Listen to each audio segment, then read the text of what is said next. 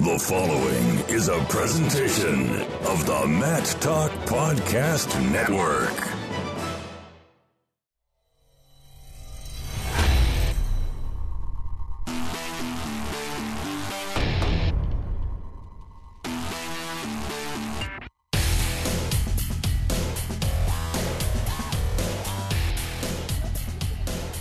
Picking up action here in Fargo as Fargo 2018. Let's use the hashtag Fargo 2018.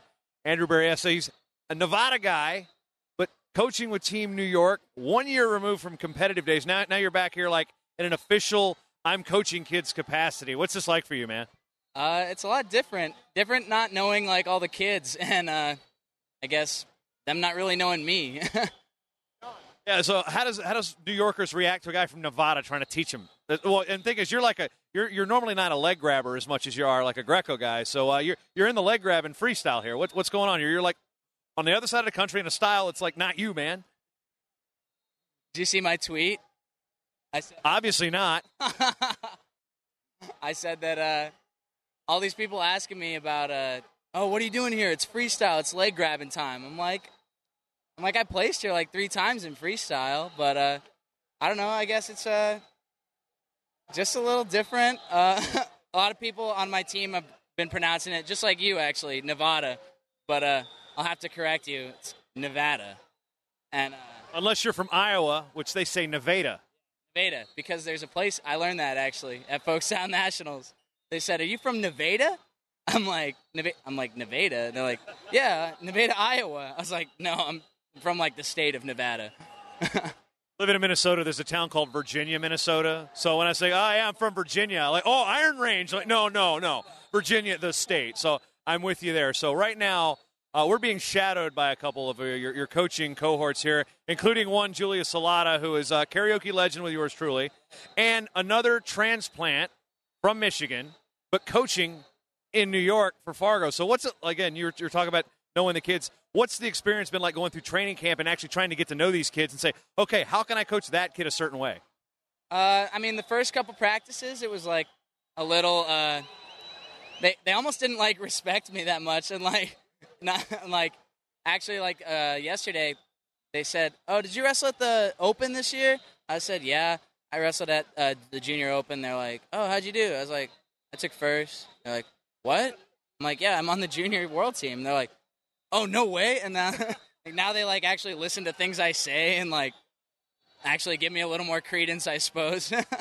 Like, dude, have you gone to FloWrestling? Have you seen my videos? Like, you know these guys. I'm like up there, right? So no credit for Cornell. It's all. It's all. You got to win juniors, right? Just gotta, unless you're a national champ like Yianni, even Ben Darmstadt, who also is on the coaching staff, who they uh, they don't really know much about him, even though freshman All American.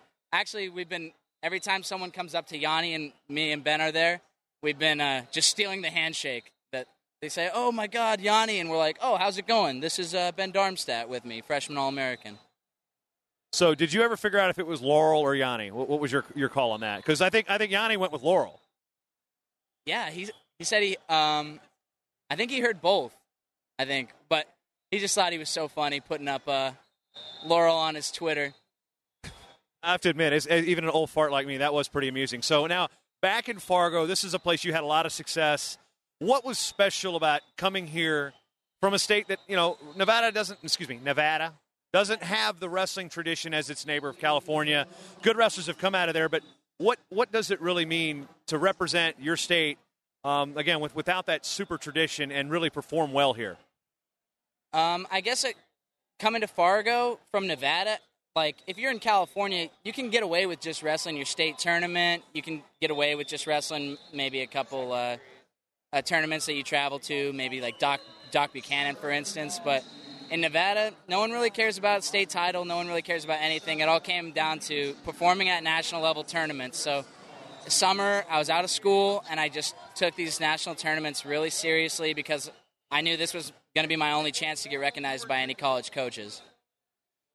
We've seen some Greco guys come up there at Cornell, and was was that really help helping? Obviously, the education at an Ivy League education is key, but when you look at a school that would you would allow that would allow you to still wrestle Greco, I mean, how much was that really a factor?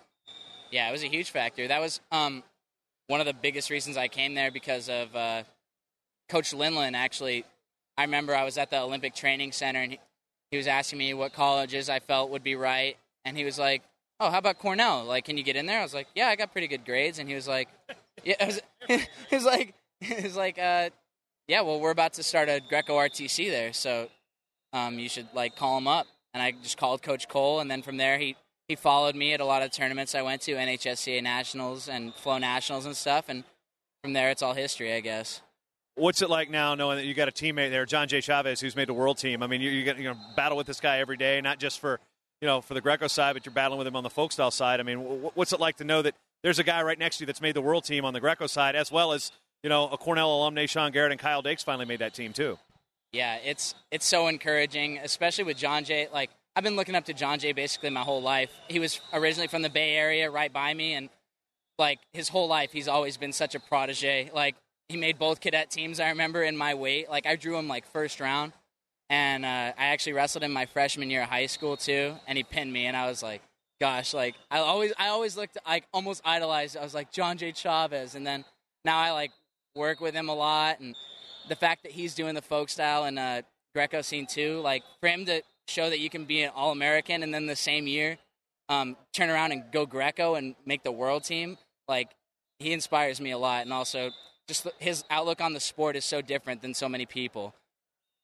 You said that you know you looked up to him, but coming out of Nevada, uh, Nevada, Nevada, Nevada, Nevada, Nevada. What what? I'm working on it here. You got to Julia Salata. You will not get any more short time time if you keep this up. You already are the record holder. Yeah, she's inter- You're not even mic'd up, and we're talking to you. This is bad podcasting right now. So when you talk about looking up to John Cheva, what wrestlers do you grow up? If you're a wrestler in Nevada, who do you look up to? Because uh, you know, obviously Bryce Saddoris has made a world team, and he's from uh, the, that northern part of the state, outside of Reno. And uh, you know, where where is that real? We talked about the lack of, I guess, tradition, but where where does the tradition really exist? Where do wrestlers like you and your and your your teammates growing up? Who do you guys root for and look for for like yeah, this guy, who do you embrace? Um, Bryce Saddoris was huge as far as like making Greco world teams, but my whole life it was it was really Joey Lavallee from my same high school, Reno High, and he was like he was a senior when I was eighth grade. So basically, my whole life it's just been looking up to him, um, watching how he he went to Cadet Worlds, um, made the bronze medal match there, and like mostly just following him. And one thing about Nevada is that because there's so like little tradition, I guess, and just so few wrestlers that actually make it out. You really like uh, have a strong connection with everybody. Even though I didn't go to high school with Joey, like I've known him my whole life. Even uh, Chase Pami from Vegas is another good example. Like I followed him my whole life, and uh, it's a lot more uh, close knit, I guess, in Nevada.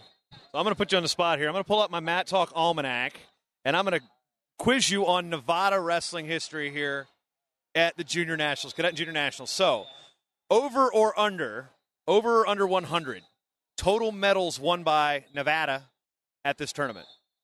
Over or under 100? Under. Under 97 to be exact. So you get, could probably break that this year. All right. First junior freestyle men's All American.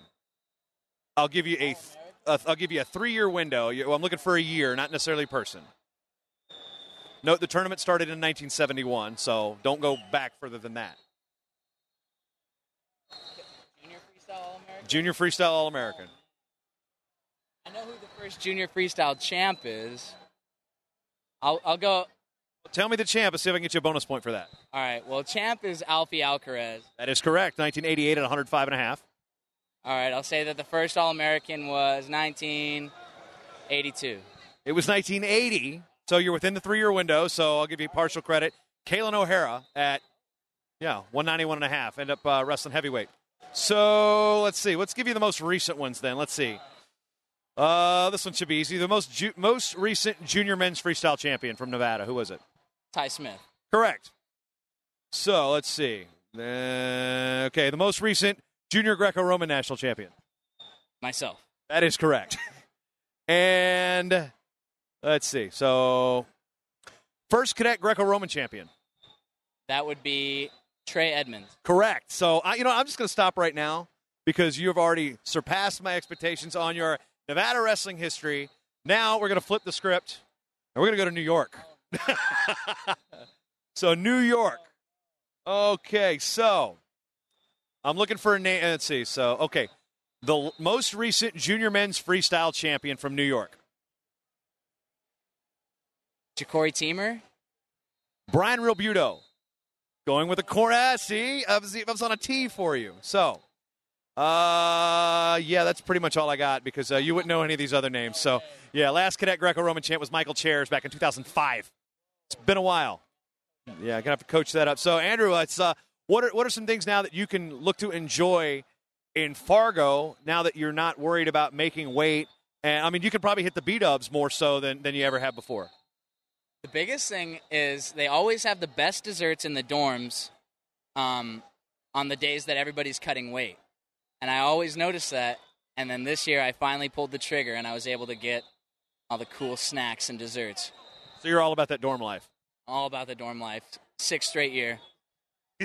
This is my 20th, and I've been in the dorms for most of them. So now you're you're doing some social media out here. You just you just took a candid of me for for the Snap Face or the Insta Chat. It's actually the Snapchat. So where can they find this story? Like, who are they need? What do they need to follow to follow all your uh, your little snaps over the week? Um, follow Unexpected Wrestling Selfies on Instagram or follow myself on Instagram. You'll catch a lot of those good stories on there. Unexpected Wrestling Self. That's an actual name. I'm gonna have to look this up anyway. Andrew, thanks for stopping by, man. It was really entertaining. So uh, if you've got any leads, be sure to drop us on. And uh, any notes out there for people that are going to pay attention to you in Cornell Wrestling next year. What do you What do you think they got to look forward to? Uh, next year, we got a lot of team, like a lot more uh, incoming freshmen that are going to make a big difference. So it's going to be a really fun year.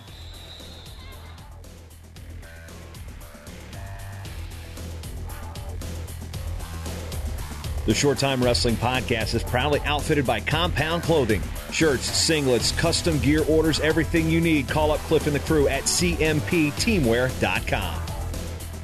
First time listening? Well, you can change that by going to mattalkonline.com slash get short time to subscribe on Apple Podcasts or listen on your favorite podcatcher at mattalkonline.com slash listen. Show is part of the Mat Talk Podcast Network. For more wrestling podcasts, head over to mattalkonline.com.